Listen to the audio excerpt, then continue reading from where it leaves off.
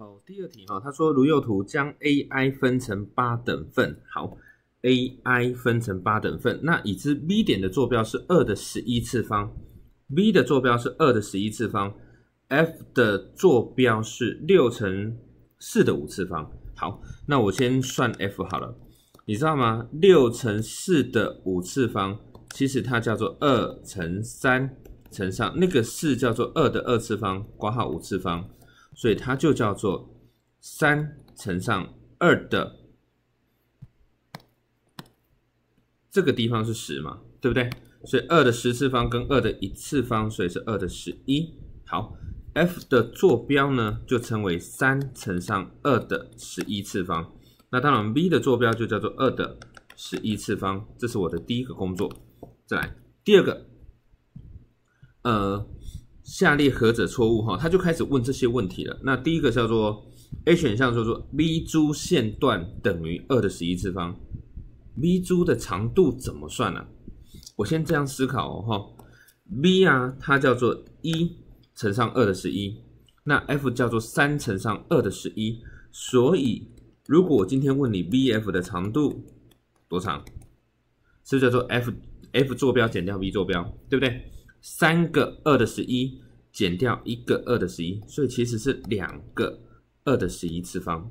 好，那珠不就是这一条长度 b 珠的长度了？好，b 珠的长度不就是 bf 的一半吗？所以 b 珠直接就把 bf 的长度除以二，OK，所以就叫做二的十一次方。好，这个叫做 A。再来，我们来看一下 B，呃，AI 的长度多少？AI，反正我刚刚已经算出这一段 B 柱的长度是二的十一次方了哈，这是对的。再来 AI 呢？AI 总共是一、二、三、四，是不是四等份？对不对？所以我的 AI，对不起，AI 的长度就叫做四段的 V 柱。好，那它就叫做二的二次乘上二的十一次，所以叫做二的十三次，哎，也是对的。好，再来我们来看一下 C，C 选项说猪点的坐标是二的十二，哇啊，猪的坐标怎么算？猪的坐标是不是就是用 V 坐标去加 B 猪长？再讲一遍哦，C 的坐标怎么算？啊，对不起，猪的坐标怎么算？用 V 的坐标去加上 V 猪的长度。好。所以二的十一次方，这是它的坐标，再加上 v 柱的长度呢，不就是二的十一次方吗？对不对？v 柱就是二的十一次方嘛，所以就是二的十一乘上两倍，所以它就叫做二的十二次方，这也是对的。好，那最后一个 h 的坐标怎么表示？好，h 的坐标怎么表示？好，这个是不是叫做用 f 的坐标去加上 fh 的长度，对不对？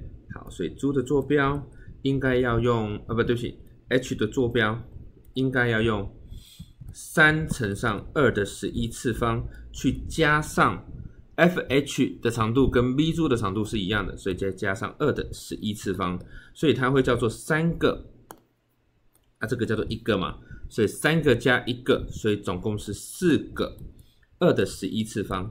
所以那个四又叫做二的二次乘上二的十一，所以答案叫做二的十三。所以 h 坐标称为二的十三，这个就不对。好，所以答案叫做猪。